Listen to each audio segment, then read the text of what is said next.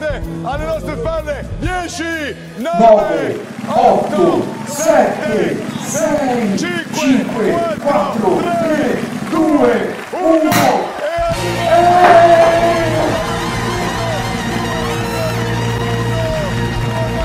Buon anno! Buon anno!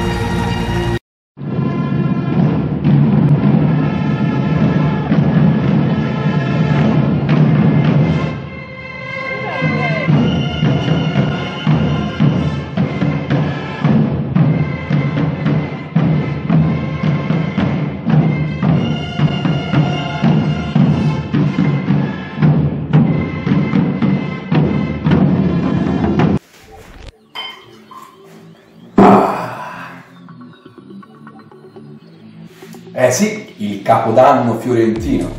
Fino al 1582 a Firenze il capodanno veniva festeggiato il 25 di marzo, nove mesi prima della nascita di Gesù. Era infatti il 25 di marzo che dava inizio all'anno civile della città di Firenze.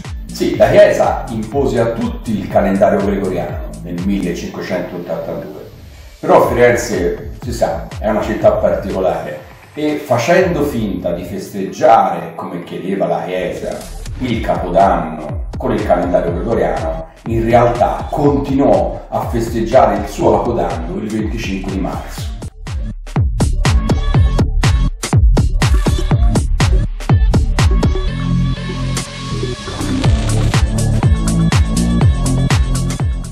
Solo nel 1749, molti anni dopo il calendario gregoriano, il Granduca Francesco III di Lorena per legge impose ai fiorentini l'inizio dell'anno civile il primo di gennaio.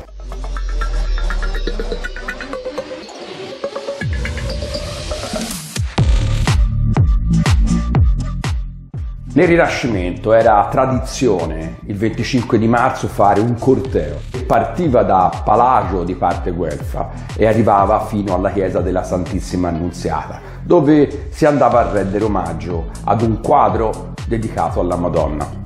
Il corteo della città, che era pieno anche di pellegrini che venivano da fuori delle mura, portavano gigli bianchi in dono alla Madonna in segno di purezza.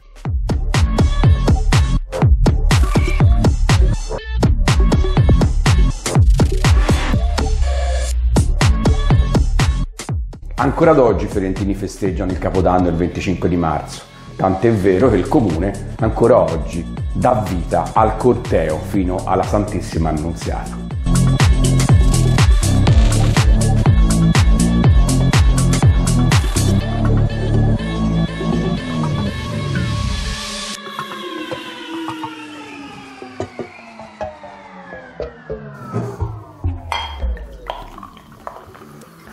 Quindi buon capodanno fiorentino a tutti e che sia un anno migliore di quello passato. Auguri e buon anno.